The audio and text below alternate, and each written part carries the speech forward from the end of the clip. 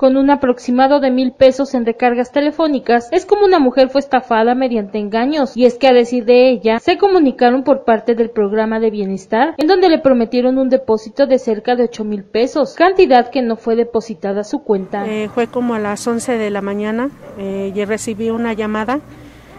y me dijeron que era de era número este de bienestar y pues yo les creí y me empezaron a enviar este fotos a donde está hay personas recibiendo este los apoyos. Y pues sí les creí todo lo que me habían dicho.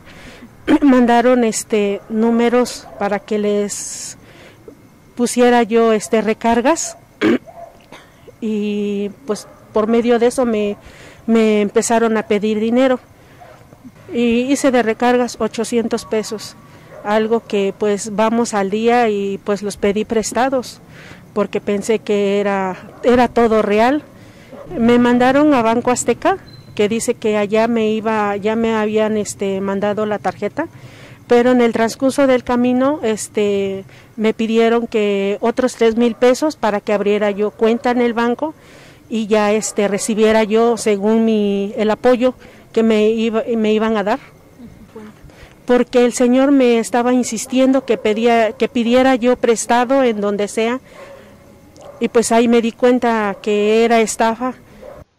Mencionó que le pidieron un depósito de tres mil pesos a una cuenta de Banco Azteca, por lo que se dirigió a las oficinas y fue cuando la persona que la atendió le comentó que el pago era directo en bienestar, por lo que en ese momento se percató que había sido estafada. Este, llegamos hasta Banco Azteca, mi esposo y yo, y ahí me explicó el joven de lo que, que me, dije, me dijo que el programa Bienestar era directamente a oficinas, no tenían nada que ver con ellos y que pues que me habían estafado. Entonces ya no pedimos el dinero prestado, los tres mil pesos,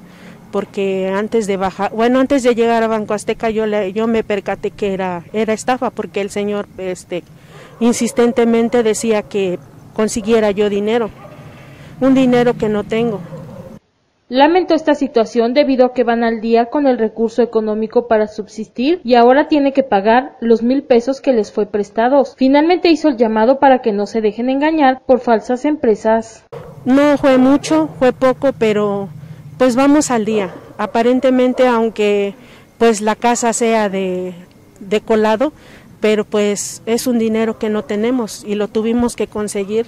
creyendo que era de, programa bienestar, porque había dicho los hombres que venían de,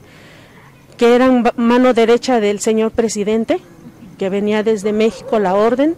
y que aquí también la, la presidenta Ariana Ayala que ya estaba este estaban entregando apoyos. Por eso yo pensé que sí era cierto. Pues que no que las personas con bajos recursos que no se dejen no se dejen engañar porque pues vamos al día y es un dinero que no tenemos y estas personas pues fácil y rápido pues nos engañan y, y aunque ya estamos grandes pues caemos con tantas mentiras.